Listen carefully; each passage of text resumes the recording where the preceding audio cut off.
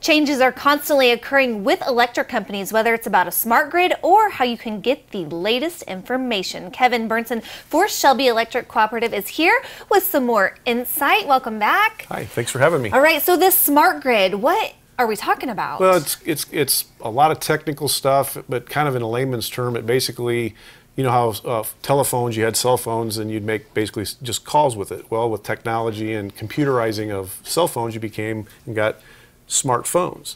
So electricity is kind of the same way. You've got the electrical grid. It's basically the wires, the substation, all the equipment that gets the power from the generation facility to your home.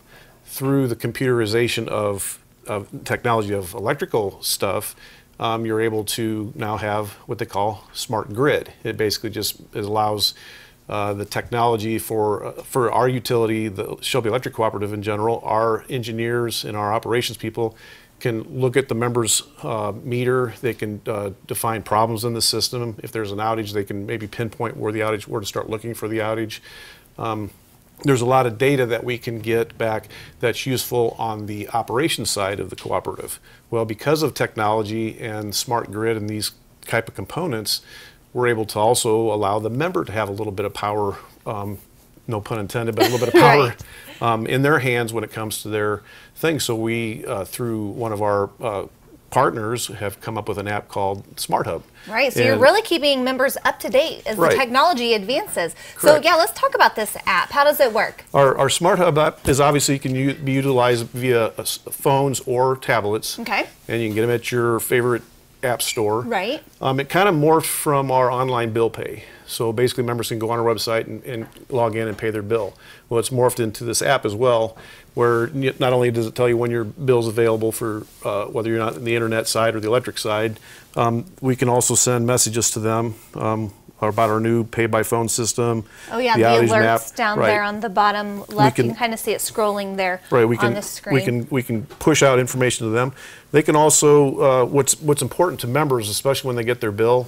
Sometimes or some months is high. Sometimes why is my bill so high? Well, right. when they call us, we've got this tool to use, but they can also go to like my usage, and they can kind of track to see how their use has been um, on a daily basis. And as you see the different color variances up there, um, for, for me, if I'm looking at this, mm, Saturday was pretty high use, and I can think back on Saturday, well, what, what, what was involved? Oh, my, maybe all my, my kids had all their friends over and they were gaming, or um, you had a flooded basement and you've got fans on to dry your, your uh, basement out, so you're going to see a, a peaking. You can kind of get an idea when your use peaked, and you can think about, well, how did what was I doing that day?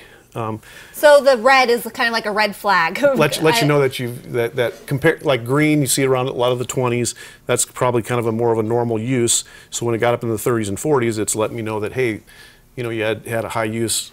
Um, Maybe it was colder that day or something else. Right. Okay. You can check your current billing period.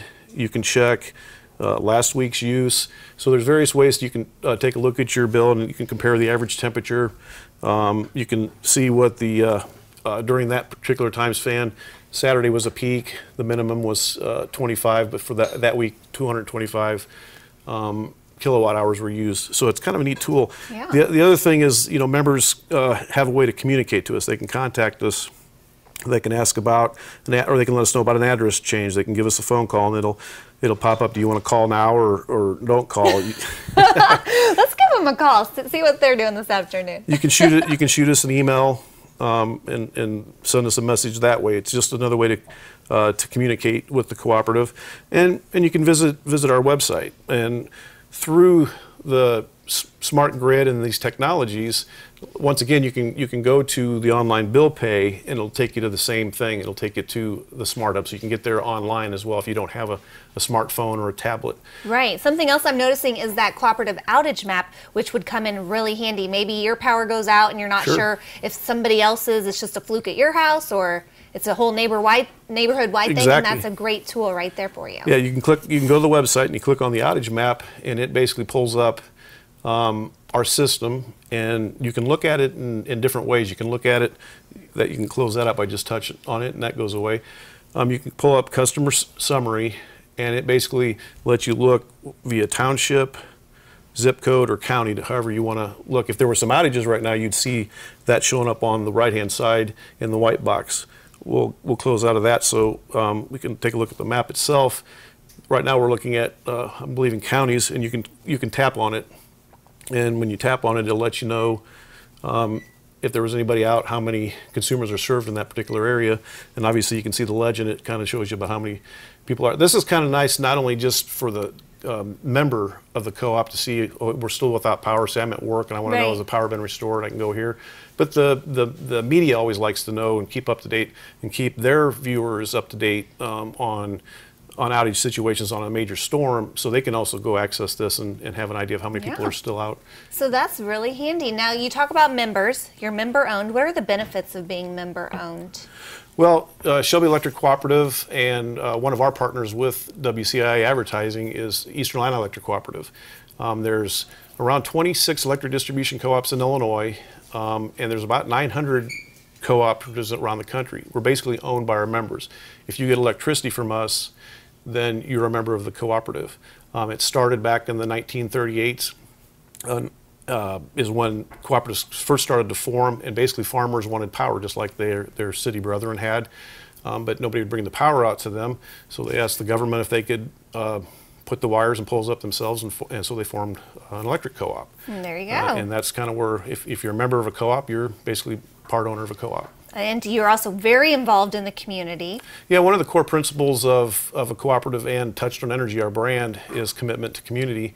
So we do various fundraising things throughout the different communities that we serve. We'll get involved with the schools. We'll get involved with uh, raising funds for different organizations. We'll uh, help out, uh, maybe put a, uh, lights up in a ball field. May, may help put up a, a siren, um, emergency siren in a, in a town that needs the pole or needs help with a, a bucket truck. Um, we also uh, collect, uh, our co-op, we collect uh, canned goods, non-perishable canned goods, and we give them to local food charities. So there's, there's a lot of, th- we're, we live in those communities, so we also want to con- give back to the communities that we serve. Yeah, and you're staying up to date with technology, which is great. It's Kevin Burnson for Shelby Electric Cooperative. We appreciate you coming Thanks for in. having me. If you want to get connected with them, we'll connect you via CILiving.tv.